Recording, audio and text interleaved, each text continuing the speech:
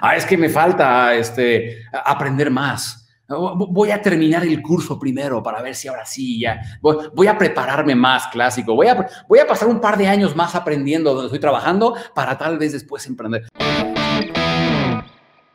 Quiero que se den cuenta de que no están solos, no están solas. ¿Ok? Es normal. Yo me acuerdo la primera vez que yo subí, bueno, estaba, eh, grabé un video, ¿no? Y, antes de que yo, hoy en día son puros en vivos, pero antes grababa videos, ¿no? Y yo los editaba en mi computadora y me acuerdo la primera vez que estaba a punto de subir un video a YouTube. Porque aparte de todo, te vas a dar cuenta de esto, que nos sentimos lo más importante del planeta. Nos sentimos el centro del universo. Es lo que esa, esa, esa, esa ilusión que nos hace creer nuestro ego que somos el centro del universo, somos el centro del planeta, creemos que al poner nuestra página web la gente va a llegar y no está lista, ¿no? Nadie va a llegar. O sea, si no eres tráfico al día de hoy, nadie va a llegar. creemos que vamos a subir un video a YouTube y que nuestros amigos lo van a ver. Nadie lo va a ver. Por lo menos el primer, si nunca has subido un video a YouTube y subes uno, las probabilidades son que nadie lo va a ver, por lo menos los primeros días o semanas a menos que tú le empieces a generarle tráfico. Pero subir un video, nos sentimos el centro del universo, entonces yo me acuerdo, eh, estar a punto de subir ese primer video, así como, ¿le, le, cliqué o no? Le, le, pongo subir o no? Ya estaba todo listo, ya estaba todo, la descripción, todo. Lo subo, no lo subo, lo subo, no lo subo, lo subo, no lo subo. Y lo que tenemos que hacer en los momentos es decir, chingue su madre. Tres, dos, uno, pum, lo subo. a ver, no sé qué va a pasar, pero aquí la, esta es la clave no sé qué va a pasar, pero voy a tener experiencia. No sé qué va a pasar, pero voy a experimentar algo. No sé qué va a pasar, pero voy a aprender. No sé qué va a pasar, pero algo va a pasar y voy a aprender de ello. Y chistoso, porque creemos que esta cosa, una vez que ya te acostumbras a subir videos y bla, bla, como que se detiene el, miedo y ya eres súper, ya no te dan miedo nada más, pues te voy a decir, te van a seguir dando miedo cosas. Me acuerdo cuando yo ya llevaba rato subiendo videos a YouTube y ya la gente lo estaba viendo y estaba recibiendo clientes de ahí y increíble y esto estaba fluyendo. Y entonces un amigo mío, Hans Nolte, que ustedes muchos de ustedes lo conocen, ah, que es el que lleva mi publicidad al día de hoy con, con su agencia, me dice, oye, pues hay que empezar a hacer eh, en, tus, en, tu publicidad en Facebook, porque la, la publicidad en Facebook en aquellos entonces eran yo escribía cosas. Y me, dije, me dice, oye, ¿y si descargamos tus videos de YouTube y los subimos a Facebook? Y, es, y usamos eso como publicidad. Y en eso me sentí una ola de resistencia gigantesca. ¿Por qué? Porque mis amigos están en Facebook. Y ojo, yo ya llevaba meses, creo que llevaba años, bueno, llevaba uno o dos años ya haciendo videos para YouTube pero una parte de mí decía, no, no estoy listo para que mis amigos vean esto, lo que estoy haciendo. No estoy listo para que mis amigos me vean y, se rían o me juzguen o lo que sea. Porque yo estoy hablando de que yo tenía baja autoestima y estoy hablando de que yo era inseguro socialmente y era hablando de que, ¿qué va a pasar? ¿No? ¿Qué va a pasar si mis amigos se enteran de esas cosas? Porque yo contaba mis historias y, me abría con, con el mundo. ¿No? Entonces, eso fue una resistencia y yo no quería. Hasta que un día, no sé, porque no sé si por inspiración divina o qué, pero Hans subió un video mío a YouTube, a Facebook y lo, eh, empezó a correr publicidad y empezó a funcionar increíble. Increíble. Lo chistoso fue que, en ese momento es como que tu ego se da cuenta que no se murió, ¿no? Se da cuenta que no le pasó nada.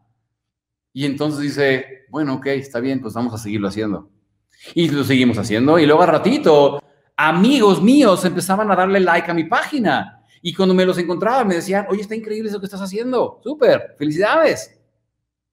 Y me imagino que, que, habrá habido alguno que a lo mejor decía, ay, este tipo que se cree, ahora ya se cree el qué o qué. Y está bien, no importa. Al final del día es mi experiencia.